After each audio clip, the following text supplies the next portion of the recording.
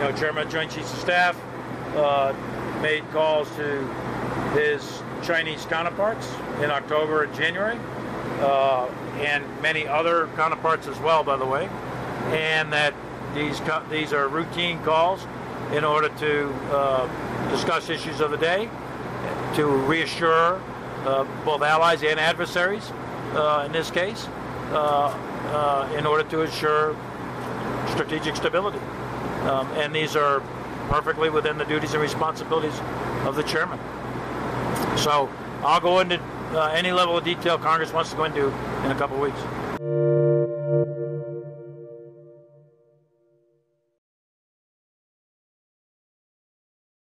Thanks for watching Bloomberg Quicktake Now. Subscribe to our channel to see the biggest stories the moment they happen from around the world.